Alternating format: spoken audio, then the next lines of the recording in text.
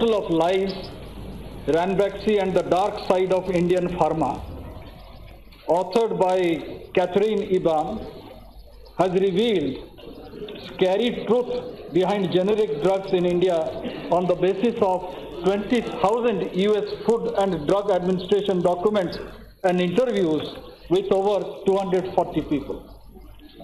It is revealed in that book that a large number of generic drugs manufactured in India are actually ineffective and a few even harmful. Often generic drugs manufacturers produce medicines of higher quality for European and American markets where regulation is very, very tighter while blithely selling inferior and ineffective drugs in India. Eban's book is full of hair-raising accounts of visits of US FDA regulators to manufacturing plants in India where fraud, insanitary conditions and deliberately poor standards of manufacturing are revealed. In the microbiology laboratory of one plant where, there, where they were testing for microbes and bacteria, the actual samples did not exist. They were testing nothing.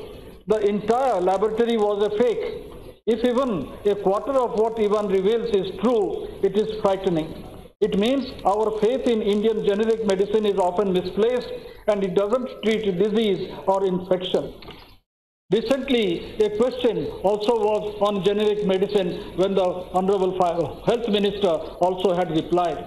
We have great faith in the generic medicine. Whenever I take a medicine for certain disease, I, I believe that medicine will give me cure. But after reading this book, after knowing about the, uh, the, the, investigation that has been done, I feel I, I now doubt whatever the medicine that I am taking, especially the generic medicine. Therefore,